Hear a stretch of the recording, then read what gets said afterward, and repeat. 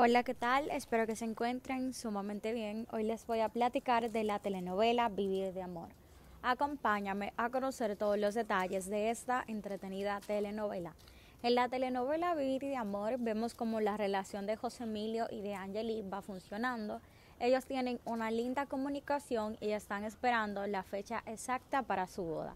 Están súper ansiosos de conocer qué el futuro le va a deparar a ellos juntos. La emoción que sienten es increíble, pero cada vez que ellos planean tener la boda de sus sueños, llega un percance. En esta ocasión el percance es que don Emilio ha desaparecido, así que se hace una extensa búsqueda para poder recuperar a don Emilio.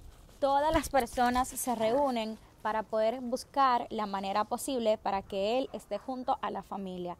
Hay que ser bastante honestos. Don Emilio no quiere a Misael Incluso hay algunas personas que ya andan comentando que Misael será desheredado de la familia y que hasta el apellido le van a quitar. Misael es la vergüenza total de la familia porque no lleva lo que la familia quiere hacer desde hace mucho tiempo.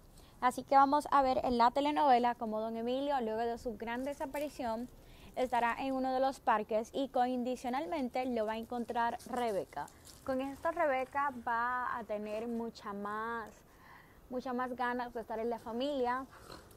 Rebeca ha hecho muchas cosas por la familia del Olmo. En esta ocasión va a ayudar a la familia Cuellar, va a sorprender a Misael, a Mónica, a José Emilio y pues va a utilizar esto a su favor. Es como que la vida le está dando cosas a Rebeca para que Rebeca sea aceptada en medio de estas personas.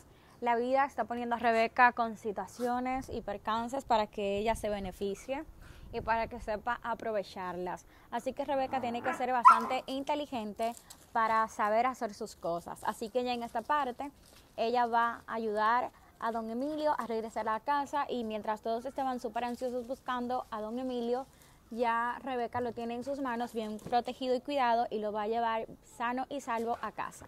Esto ha sido todo por hoy por este video.